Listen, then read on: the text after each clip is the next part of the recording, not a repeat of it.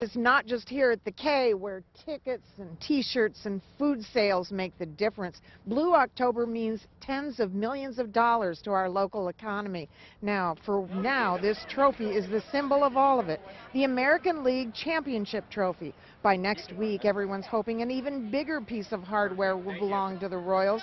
City Manager Troy Schulte stopped by the Visit KC offices today where this prize was on display. He says last year the impact was about $50 million to city coffers, about the same as the All-Star Game.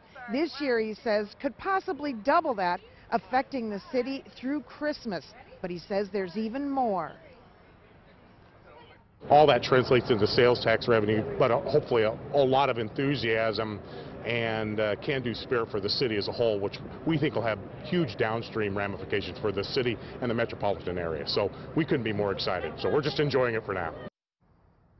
Now, in other words, if you're rooting for the Royals, that alone is contributing to a new and improved and vibrant city. That means a lot of people are doing their part. Good news. We're live at the K. Peggy Bright, KMBC 9 News.